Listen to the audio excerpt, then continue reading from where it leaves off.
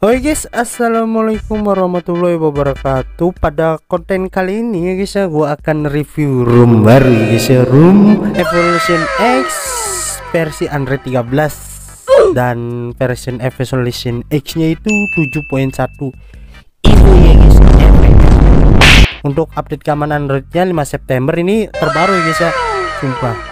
Untuk versi kernelnya itu Kerlai Kato jadi ini cocok banget untuk menggaming ya guys ya enggak sih ini kan kernel stok. Apakah kernel ini sangat cocok banget untuk menggaming guys ya? Oh ntar guys ntar next konten gua bakalan review konten memakai room evolution X ya guys. Dan untuk fiturnya sebagai ciri evolution X itu ada di evolver.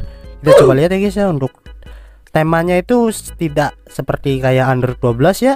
Ini gua baru memakai Android 13 dan ini beda banget guys. Untuk Android 12 itu banyak customisasinya dan Android 13 ini sangat simple simple sekali ya guys ya. Untuk bentuk icon nah kalian bisa apa namanya cek-cek sendiri aja di temanya ya guys. Ntar kalau dibahas semua kepanjangan nah kita beralih ke baterai ya guys ya. Untuk fitur yang ada di baterai itu ada profil pengoptimalan seperti di fitur Android 12 itu. Ada namanya profil pengoptimalan sama aja tapi ini customisasinya hampir sama sih tapi beda aja. Lebih suka ke Android 13 sih untuk fitur profilnya ya guys ya. Tapi sama aja sih fungsinya. Macam tak betul budak ni. Nah di sini tuh pilihannya ada performa, perambanan, kamera, panggilan, permainan dan aplikasi streaming. Kau bisa cocokin aja untuk kebutuhan kamu sehari-hari. Kalau untuk bermain PUBG, kamu bisa pilih ke performa. Dan untuk biasa aja, mending saran gua di tidak ada optimisasi. Ya, masa iya?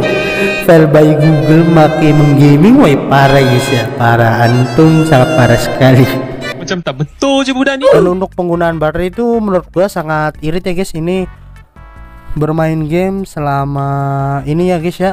Tuh. Sih main irit sih menurut gua mah tapi kan pendapat tapi kan pendapat kan beda-beda ya guys ya. Menurut kamu boros ya boros. Kalau menurut gua mah eh, segini mah irit ya guys ya. Nah gua itu menemukan bug ya guys ya. Untuk menemukan bugnya gua kan biasa kan memakai dual space untuk kebutuhan pekerjaan ya guys ya. Nah coba kamu pokoknya ngeklon apa aja. Ngeklon banyak. Percuma guys. Nggak bisa guys ya. Dan untuk WhatsApp bisnisnya tuh nggak bisa sama sekali coy. Ya. Nggak tahu kenapa ya guys. Android 13 itu tidak support untuk dual space ya guys ya. Bagi kamu yang tidak terlalu menggunakan dual space akun-akun ganda ini tidak bermasalah sih. Tapi buat gue itu bermasalah ya bos. Jadi gua agak kurang betah sih. Tergantung kebutuhan masing-masing sih dan untuk bug keduanya itu ada di kamera ya guys ya. Ini mohon maaf mukanya tidak dikondisikan. Ini kok kameranya copong ini sangat boros sekali itu. Apa titik hitam? Bukan titik hitam sih. Itu garis hitamnya sangat besar sekali bos ya. Nggak biasanya ini di kamera Google. Biasa ini sangat jelek sekali sih. Tuh sumpah ini nggak recommended banget kalau di kamu yang suka foto, itu ya, lancar ya guys. Ini tidak ada bug sama sekali. Ini sangat lancar sekali guys ya. Dan untuk fitur yang ada di sininya itu ada wah pokoknya sangat komplit ya guys ya. Coba guys komplit ya sini ya. Tuh. Wow banyak sekali. Udah ada pindah kode QR jadi segitu aja ya guys ya untuk review room evolution X versi Android 13 7.1 EVE ya guys ya ini.